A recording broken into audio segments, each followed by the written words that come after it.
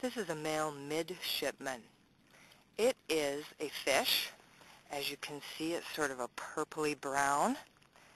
This is its mouth, eye, another eye, its two fins on the side.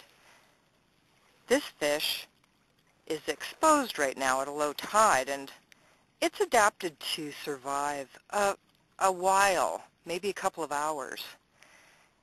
Unfortunately, people come along and move these fish or touch them and they don't survive.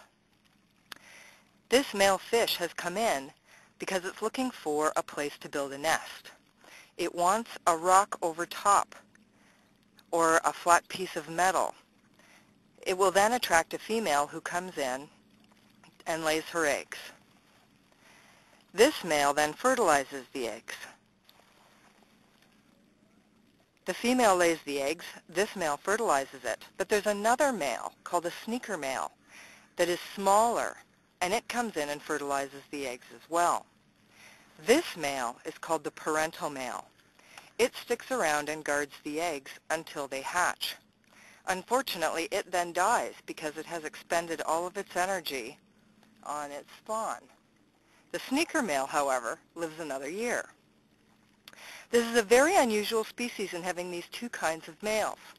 Last year, here at Crescent Beach, there were two researchers from McGill University studying this fish as a psychology project, not a biology project.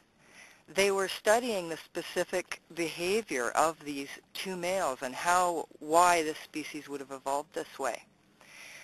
So it's a very interesting creature, and it is endangered on this beach by the many, many people who come to enjoy this beach. So, what's important with this fish is, if you find it above the water line, don't put it down below because it's made a nest. It's found a hole that it likes. If you find it under a rock, put the rock back exactly the way you found it. The eggs are yellow and turn white after hatched, and here comes a dog. so Put the rocks, put the rocks back over the fish the way you found them.